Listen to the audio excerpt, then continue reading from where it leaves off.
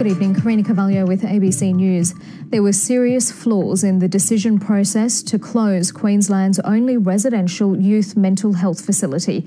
That's the damning finding of a commission of inquiry promised after an ABC investigation into the Barrett Centre's controversial scrapping by the Newman government. The Premier has vowed to build a replacement facility. Two and a half years after the Barrett Centre closed and the deaths of three former patients, parents heard what they've long believed. The decision to close the centre in 2014 was a bad decision with severe repercussions. Commissioner Margaret Wilson's report slams the processes that saw the state's only residential facility for adolescents with severe mental illness closed. Plans for a replacement centre had already been scrapped. Before that was done, there was no analysis of the needs of the young people who accessed the Barrett Adolescent Centre. Nor was there enough consultation. Those who wanted to see the back closed pressed ahead. Her report found throughout the decision making process there was no proper, if any, risk assessment.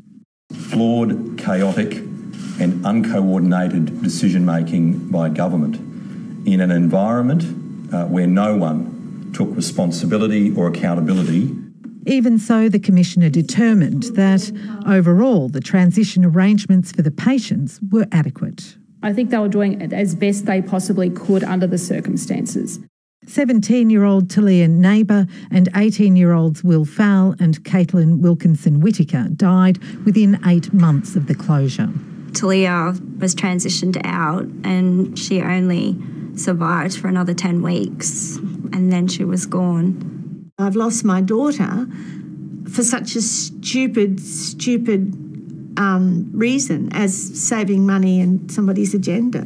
The government has accepted all of the inquiry's recommendations, promising, among other things, a new residential extended treatment facility and reviews of the hospital and health service system, service agreements with external contractors, and the transition of adolescents into adult mental health services.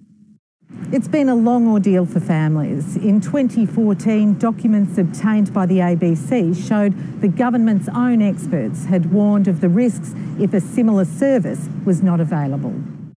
That advice was not heeded. Lawrence Springborg, who was Health Minister at the time, hadn't read the expert report. The inquiry found he hadn't been adequately advised. The opposition says the inquiry has been a multi million dollar political witch hunt. The Public Service Commissioner will advise whether action should be taken against any individual. Reporter Kathy McLeish led the ABC's investigation into the Barrett Centre closure and joins me now. Kathy, does this answer everything for the families? Well, Karina, the volume, the report comes in two parts. The volume released today goes into how the decision was made. The second volume is highly sensitive and confidential, and access to that is restricted. So the parents will be looking for the detail in that. In addition, a joint inquest into the three deaths had been announced, and today the coroner, deputy coroner, said that he will read the report carefully before making his decision. So uh, the quest for the parents for answers uh, is not over yet. Kathy McLeish reporting there. If you need help, you can contact Lifeline or Beyond Blue.